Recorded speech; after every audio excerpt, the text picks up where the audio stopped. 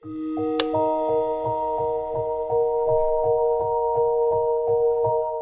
MOP lovers, apa kabar? Indra Herlambang kembali hadir di sini di Suara Hati. Siap banget untuk mendengarkan semua cerita kalian yang tentunya biasanya nih kalau orang punya kisah-kisah mau yang membahagiakan, sedih, mungkin juga memalukan untuk beberapa orang, itu kayaknya kalau disimpan sendiri tuh nggak enak ya. Nanti jadinya malah bermasalah ke mana-mana, including ke masalah kesehatan.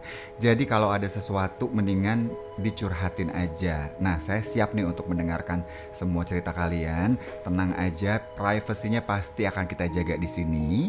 Dan untuk curhatnya langsung aja email di suarahati.mop@gmail.com atau di Instagram kita ya DM langsung ke suarahati MOP channel. Ya, inilah dia suara hati karena setiap suara hati layak untuk didengarkan. Nah, jangan lupa nih guys, kalau mungkin di antara teman-teman yang nonton punya masalah yang sama atau punya solusi atau apa pun itu boleh langsung deh ya komen dan juga jangan lupa untuk subscribe di MOP channel. Oke, okay?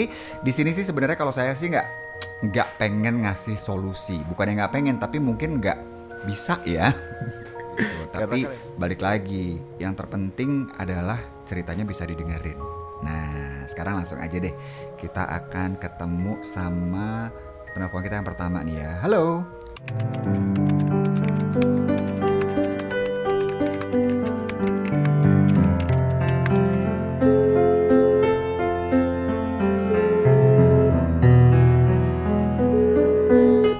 Halo Mas. Hai, apa kabar? Alhamdulillah baik Mas. Baik ya. Ya. Ini dengan Saya Ricky Mas. Ricky. Rick berapa umurnya Rick? Umur gua 26 tahun. 26 tahun, berarti sudah bekerja? Sudah. Oh, udah menikah? Sudah Mas. Udah menikah, udah punya anak. Oh, eh congratulations. Thank you. Terus gimana pernikahannya? Udah berapa lama sih berarti? Pernikahan gua baru 2 tahun. Dua tahun. Uh, masih mesra-mesranya masih seru-serunya dong. Eh, nggak seperti orang-orang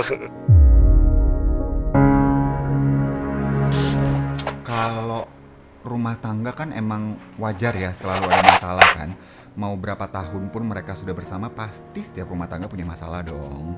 Ya kan? Iya. Yang terpenting kan kamu berusaha untuk mencari solusi dari masalahnya dong. Hmm, enggak sih Mas, di sini gua malah eh, bertemu dengan Rizka Mas gitu.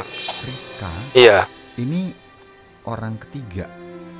eh, bisa dibilang begitu Mas. Dia ini awal mulanya dia ini teman istri gua sendiri Mas.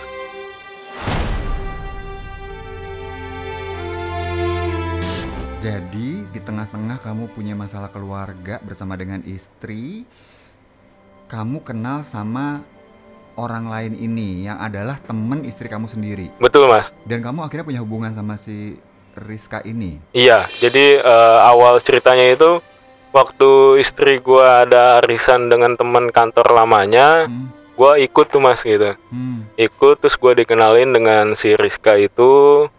Terus gua eh, mencoba ngobrol dengan Rizka, gua mengorek-ngorek informasi tentang Rizka. Terus gua mencoba eh, memberanikan diri untuk minta nomor handphonenya si Rizka gitu. Sebentar, Rick. Gimana akhirnya kamu kok tertarik sama si Rizka ini? Maksudnya apa yang bikin kamu pertama ketemu di acara arisan itu kemudian kayak, oh ini kayaknya enak nih buat ngobrol sama dia. Itu apa yang bikin kamu tertarik sama dia? dari awal gua ketemu dia gua nggak tahu mas langsung terpincut aja gitu sama dia jadi ibarat lagu pandangan awal pertama gitu Love at first sight gitu berarti yang lihat dia terus langsung kayak ada perasaan kamu gitu. iya mas Oke, tapi si Rizka ini single kah? dia udah punya suami juga Bapak ribet loh pak, mohon maaf nih. Kamunya udah punya istri, dia pun sudah punya suami. Terus gimana? Em, awalnya tuh gimana? Kalian berdua cuma ngobrol-ngobrol aja. Tadi kamu bilang eh, kamu minta nomornya dia. iya jadi tuh. dikasih sama dia Tukeran gitu nomor. tukeran Ha. nomor terus gua sering cerita tentang keluarga gua ke dia gitu kayak curhat gitu Oh, kalau teman curhat aja sih kayaknya masih aman lah, Ri. Eh. Maksudnya kan berarti kan mungkin karena si Rizka ini juga teman dari istri lo, dia mungkin juga mengenal sifat istri lo, jadi bisa ngasih pendapat yang lebih oke gitu kan maksudnya kan? Enggak, enggak gitu mas. Jadi eh, karena gue sering cerita ke dia, terus gue beranikan diri untuk ngajak dia ketemu gitu kan. Sampai suatu saat gue eh, mengungkapkan bahwa gue tertarik gitu, gue jatuh cinta sama dia mas gitu.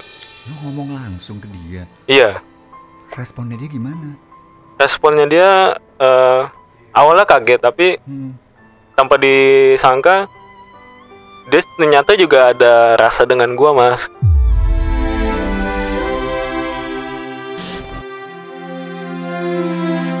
gua beranikan diri ajak dia untuk wisata ke luar kota mas gitu keluar kota terus karena udah malam gua pancing dia gua bilang Chris kita nginep aja dulu pulang besok pagi gitu nah terus dia mau gitu nah di situ gua terjadi hubungan yang ya yang luar biasa lah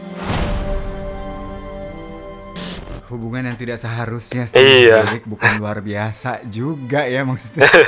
oh my god, kalian berdua masing-masing punya pasangan. Oke, kalau pada saat itu at that moment kejadian ya udah deh. Eh, balik lagi saya nggak mau menghakimi ya, karena saya juga nggak punya hak buat menghakimi apa pun yang terjadi sama kehidupan orang. Cuma besok paginya setelah kejadian malam hari itu kalian berdua ada perasaan menyesal nggak? Eh, nggak ada mas malah kita malah sama-sama seneng gitu Oh ya, iya jadi ya udah setelah itu hubungan terlarang itu semakin sering terjadi mas berapa lama kalian punya hubungan rahasia itu? kurang lebih hampir satu tahun mas Hampir setahun. iya Selama satu tahun hampir berjalan tuh hubungan kalian, berarti ya, mm, ya nggak ada dalam tanda petik perlawanan dari istri dan suaminya dia kan ya. Maksudnya istri kamu dan suami dia tuh nggak ada sama sekali kecurigaan. nggak ada sama sekali mas tapi eh, pas setahun berapa bulan gitu Hmm? eh, suaminya si Rizka itu tahu mas gitu tentang hubungan Tahu. gua sama istrinya dia gitu Tahunya dari? Eh, dari foto gua sama Rizka tersimpan di HP-nya Rizka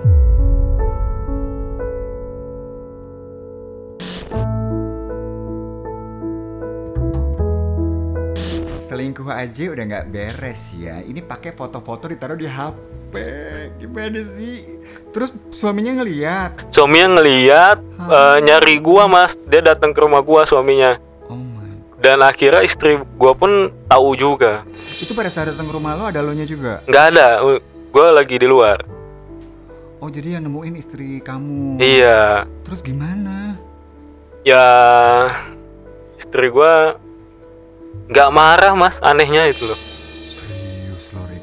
iya istri gua nggak marah Cuman nanya eh, pengen tahu cerita sebenarnya itu kayak gimana gitu Udah jelasin. Tapi Iya. suaminya si Rizka ini marah dong pasti. Dia marah banget tuh. marah banget malah Terus yang dia dia minta apa? Dia tuh eh, bilang apa? Mau mau apa dari kalian? ya kalau dari suaminya pengen gua udahan sama Rizka gitu Hmm. sama istri gua pun juga pengen gua udahan juga dengan si Rizka gitu mas Oke.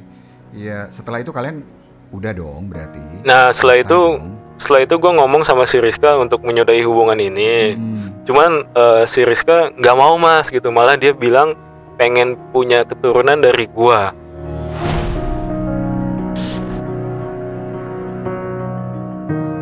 Dia udah punya anak. belum Ap- maksudnya apakah karena suaminya punya masalah dengan ya kesehatan seksualnya? ya Jadi suami memang suaminya tidak bisa memberikan anak. betul Oh, karena itu dia ingin punya anak dari kamu. Iya gitu. Tapi eh, pas gua tahu bahwa si Rizka pengen punya keturunan dari gua, gua coba diam-diam meriksa kesehatan seksual gua mas, karena kan gua udah punya anak nih satu nih ya kan. Iya. Takutnya eh, gua nggak bisa ngasih apa yang si Rizka pengen gitu kan. Mhm. Nah. Hasilnya? Hasil labnya ternyata mengecewakan sih, mengecewakan buat si Rizka gitu. Gua nggak bisa punya anak lagi. Nah di situ gue stres mas, stres. Gue takut si Rizka ninggalin gue, terus uh, bini gue juga pasti akan ninggalin gue kan.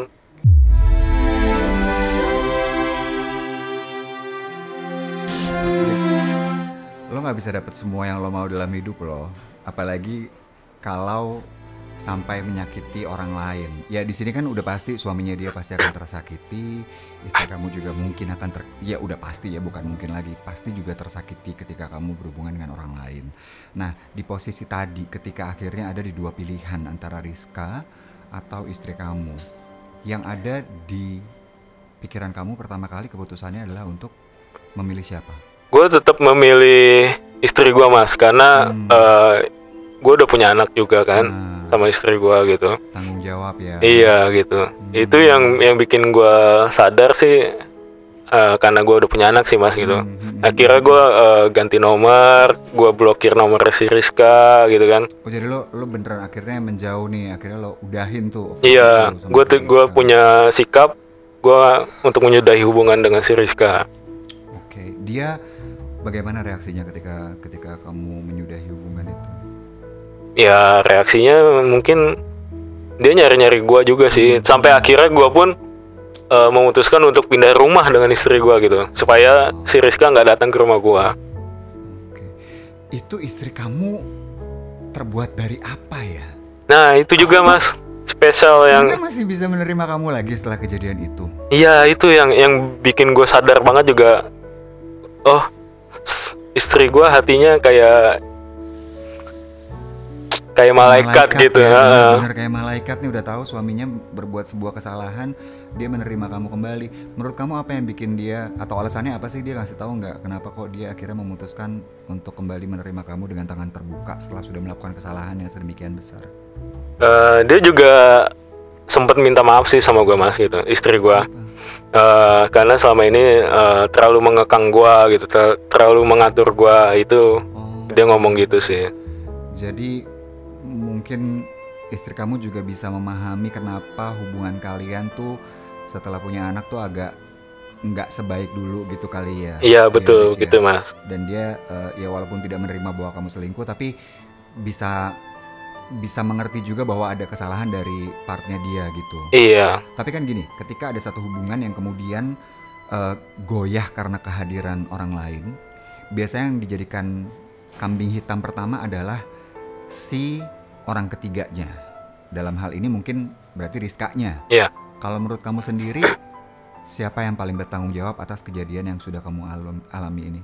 Ya, gua sih mas, karena kan kamu. gua yang memulai semuanya gitu kan. Hmm. Gua yang mancing si Rizka hmm. gitu kan. Hmm. hmm, hmm, hmm. Gitu. Tapi ya namanya juga pengalaman hidup kan um, katanya guru yang terbaik. Betul. Kan bisa membuat kita tuh mengambil hikmah dari semua kejadian. Iya mas. Dari kejadian kemarin akhirnya yang lo ambil apa Rik? yang gue ambil hikmahnya itu uh, bahwa kalau sudah menikah itu su harus punya komitmen, hmm. harus setia, hmm. terus juga ya harus saling menerima kekurangan dari pasangan kita sih mas. Itu yang paling itu penting. Ya, itu kayaknya yang harus dijaga ya karena kan janjinya bukan cuma antar kalian juga ya, iya. janjinya juga sama yang di atas ya kan. Iya mas. Iya sih. Ya udah terus gimana sekarang kehidupan kamu baik-baik aja kah? Uh, hidupan gue dengan istri gue dan anak gue sih sekarang lebih baik sih mas. Jadi lebih sering jalan bertiga dengan anak, terus saling lebih lebih cinta lah sama istri juga sama anak. Nah, cakep deh. Semoga langgeng selalu rumah tangganya ya. Amin. Rick ya. Iya mas. Tidak ada uh, kerikil-kerikil lagi yang harus dilewatin, ya kan? Sukses juga buat kalian berdua. Ya, Mbak anak nggak? Nggak bisa uh, iya. Ya, gue tanya lagi. Aduh sorry Ri. bikin gue mikir lagi. Iya, maaf ya. Pokoknya semoga yang terbaik deh buat kalian. Oke okay, thank you mas ya. Yeah. thank you banget udah berbagi cerita di sini ya Riki ya. Iya mas thank you. Iya. MOP lovers kadang tuh ya ketika kita itu bicara soal cinta dan juga rasa itu kan memang sesuatu yang bisa hadir tanpa kuasa kita. Iya dong, hati tuh nggak bisa dipaksa gitu kan. Kadang-kadang bisa aja muncul perasaan suka sama seseorang yang seharusnya tidak kita miliki. Atau kita seharusnya udah nggak punya perasaan lagi ke siapa pun karena kita sudah berkomitmen dengan satu orang dalam sebuah pernikahan. Tapi ya balik lagi, kalau hati nggak bisa dipaksa, ya jangan maksain diri juga. Iya dong, maksudnya dalam arti kata uh, untuk bahagia semua orang memang punya hak tapi lebih baik kalau kebahagiaan itu bisa diraih tanpa ada orang lain yang tersakiti. Mungkin seperti itu ya. Guys, semoga bisa mengambil pelajaran dari cerita Ricky tadi. Um, sekali lagi saya nggak pernah di sini datang buat menghakimi atau ngejudge atau ngasih solusi karena itu bukan bidang saya. Saya cuma pengen ngasih tempat di mana kalian bisa berbagi cerita. Karena siapa tahu nih cerita yang udah disampaikan tadi bisa berguna buat orang lain, bisa diambil yang baiknya, bisa dicontoh hal-hal baik dan juga bisa uh, menjadi pelajaran untuk hal-hal buruk yang harusnya tidak dilakukan gitu ya. Thank you banget yang udah dengerin. Jangan lupa ya kalian langsung komen, like juga, terus share video ini dan subscribe juga MOP channel ya dan ikuti terus nih cerita-cerita yang ada di Suara Hati karena setiap suara layak untuk didengar. Indra Herlambang pamit. Kita tunggu emailnya ya.